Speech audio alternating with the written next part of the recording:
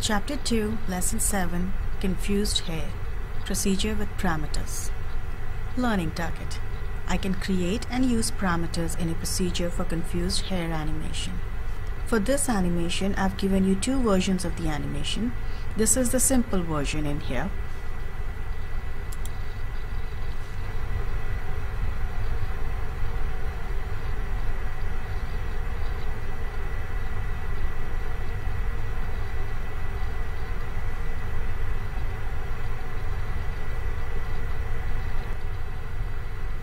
Now let's watch this animation again and let's see what it's doing. When we look at this animation, let's understand the story in here.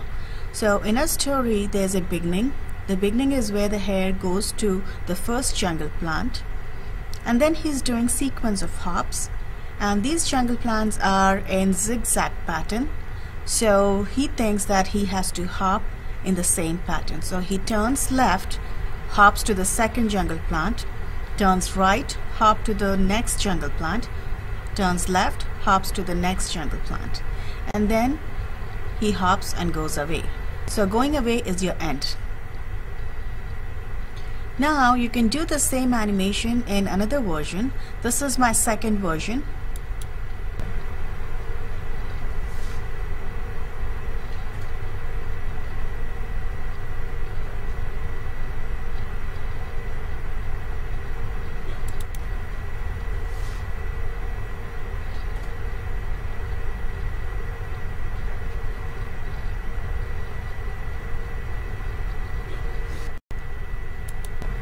The story is again same.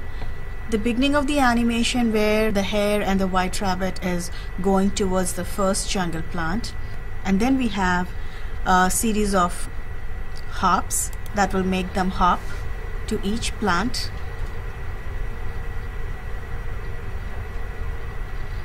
And then at the end we have an end procedure where both of them go away.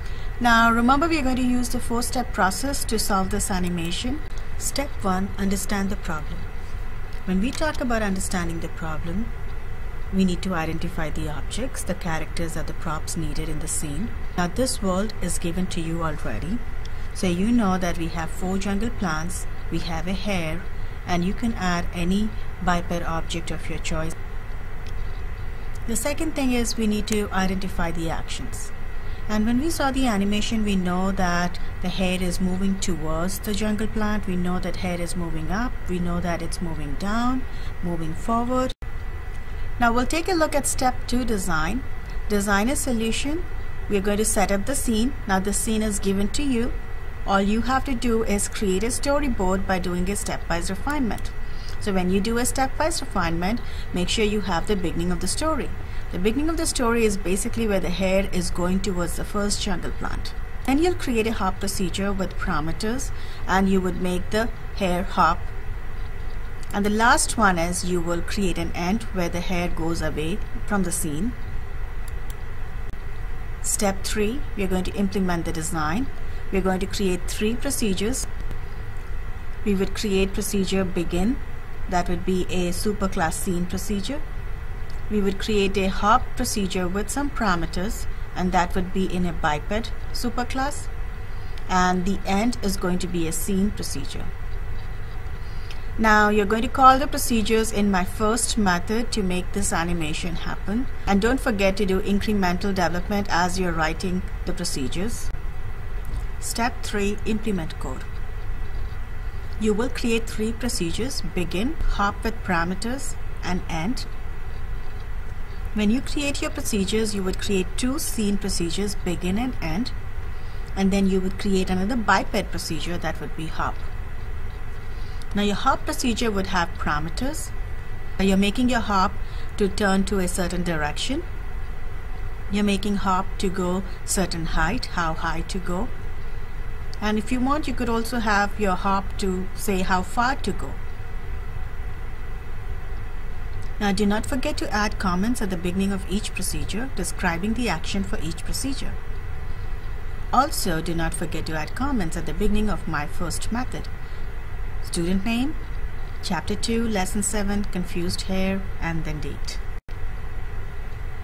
Step 4, Test. Call procedures. you would call procedures in my first method. And if you did a simple version of this animation, your programs should look something like this. Your my first method should look something like this. You would have the beginning, that's the beginning of the story, and then you would have a series of hop statements, and then you would have end.